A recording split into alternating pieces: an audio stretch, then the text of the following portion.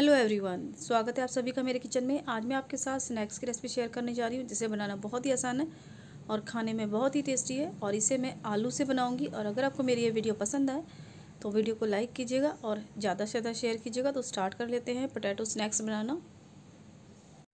बहुत ही टेस्टी और आसान नाश्ता बनाने के लिए यहाँ पर मैंने एक बड़ा बोल लिया है और इसमें मैंने ले लिया है दो मीडियम साइज़ के आलू ग्रेट करके और इसमें डाल रही हूँ मैं आधा कप के करीब मैदा तो अभी मैं आधा कप डाल रही हूँ, बाद में ज़रूरत पड़ेगी तो और यूज़ करेंगे।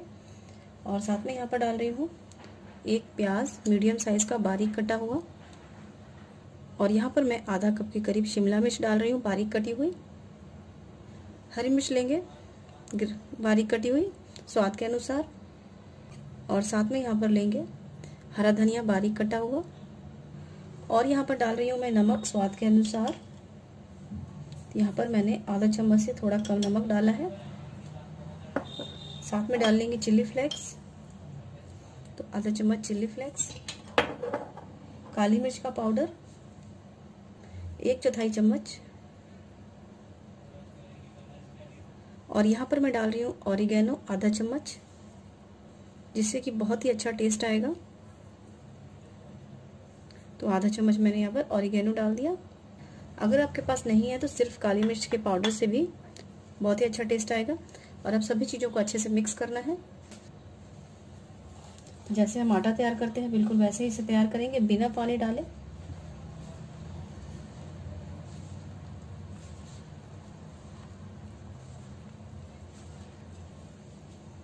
और एकदम टाइट डो तैयार करना है।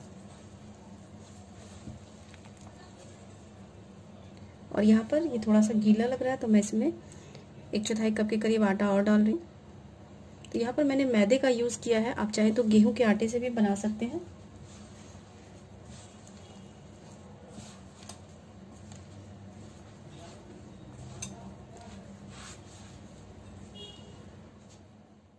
और यहाँ पर मैंने टाइट डो तैयार कर लिया है। और इसमें डाल लेते हैं एक चम्मच के करीब तेल।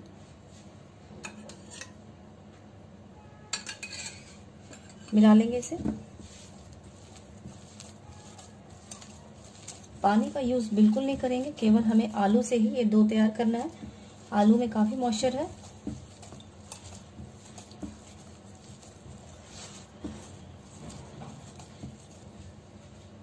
और यहाँ पर मैंने ऑयल को भी बहुत अच्छे से मिला लिया है। अब इसे मैं केवल पाँच मिनट के लिए ढक के रखूँगी। पाँच मिनट से ज़्यादा नहीं रखेंगे। तो मैं इसे पाँच मिनट के लिए ढक के रख देती हूँ। और यहाँ पर डो को रखे हुए पाँच मिनट हो गए हैं।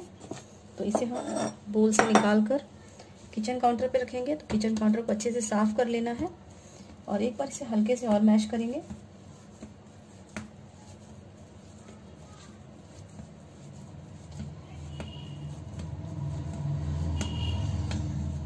और बड़ी सी लोई बना लेनी है हमें। तो देखिए बड़ी सी लोई मैंने तैयार कर ली है। सूखा आटा लगाएँगे। तो सूखा मैदा लिया है यहाँ सूखे मैदे को अच्छे से डस्ट कर लेंगे। और इसे हम अब बेलन की हेल्प से बेलेंगे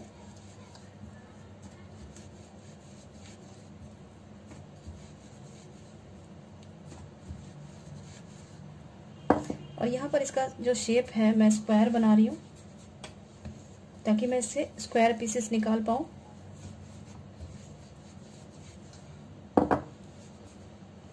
ऐसे हाथों से इसे हम शेप दे देंगे ताकि ये जो हमने ये बेली है रोटी, बड़ी सी, ये स्क्वायर शेप में आ जाए।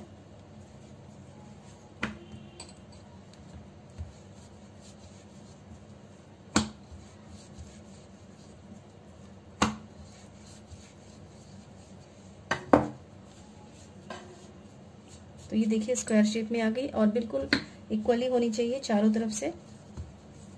कहीं से भी मोटी पतली ना हो अगर स्क्वायर शेप में ये नहीं बन पा रही तो आप इसे नाइफ से भी कट कर सकते हैं स्क्वायर में। तो ये बन गई है लगभग।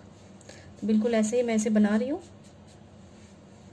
और यहाँ पर मैंने इस बड़ी सी रोटी को स्क्वायर शेप में कर लिया है, इस तरीके से करके। और अब हम इसके पीसेस कट करेंगे तो मैंने इसको ना बहुत ज़्यादा पतला रखा है, ना बहुत ज़्यादा मोटा रखा है। तो अब मैं इसे कट करूँगी।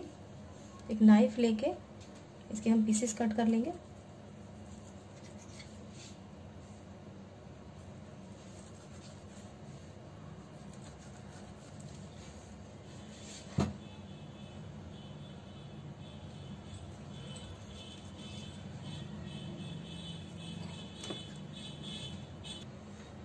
बहुत आराम से इसके पीसेस कट जाते हैं, कोई प्रॉब्लम नहीं होती है।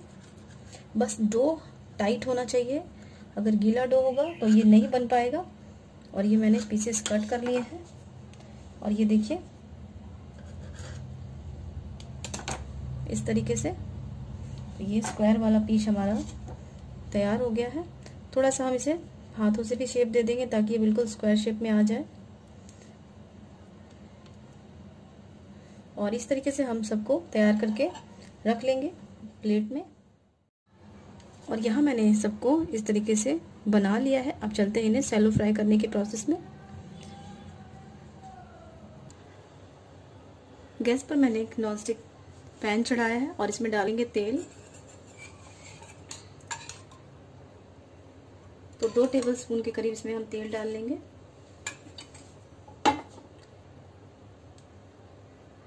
चारों तरफ़ अच्छे से फैला लेंगे।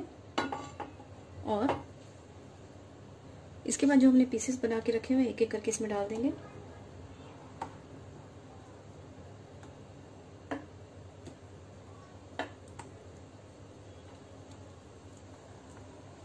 तो अभी मैं इतना ही फ्राई कर रही हूँ, बाकी बाद में करूँगी।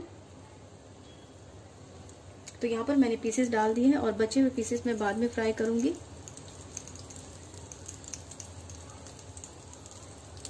और जब ये सारे पीसेस एक तरफ़ से फ्राई हो जाएँगे, तब हम दूसरी तरफ़ से फ्राई करेंगे।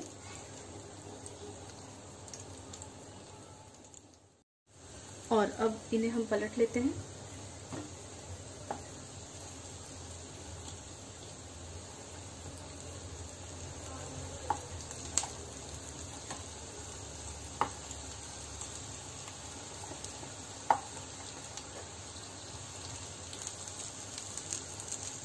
और देखिए, इसमें बहुत ही अच्छा कलर आया तो बिल्कुल ऐसा ही कलर आने तक हम सभी को फ्राई कर लेंगे। यहाँ पर मैंने सारे पीसेस फ्राई कर लिए हैं और ये अंदर तक बहुत अच्छे से सीख चुके हैं। तो बिल्कुल ऐसा ही हम बचे हुए पीसेस को भी हम फ्राई कर लेंगे। तो देखिए, बिल्कुल ऐसा ही कलर आने तक हमें फ्राई करना है और मैं इन्हें निकाल लेती हूँ। और यहाँ पर दोबारा से हम पैन में तेल डालेंगे। तो दो टेबल स्पून मैंने दोबारा से तेल डाला है और बचे हुए पीसेस हम इसमें डाल देंगे।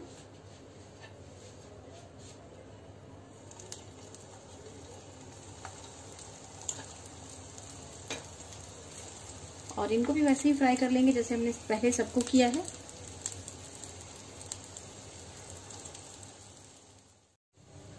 और यहाँ पर मैंने सारे पीसेस बहुत अच्छे से फ्राई कर लिए हैं। देखिए, बहुत ही बढ़िया सा कलर आया है। तो इसी तरीके से इनको फ्राई कर लेना है। इसे आप चटनी कैचअप किसी के साथ भी खाएँगे, बहुत ही टेस्टी लगता है। इसे आप लंच बॉक्स के लिए भी बना सकते हैं, कभी भी बना सकते हैं, चाय के टाइम पर भी। तो इस रेसिपी को आप ज़रूर ट्राई कीजिए और अच्छा लगने पर फैमिली और फ्रेंड्स में शेयर कीजिए, मेरे साथ कमेंट करके शेयर कीजिए। रेसिपी आपको कैसी लगी? मिलते हैं नई रेसिपी के साथ, नए एपिसोड में। धन्यवाद।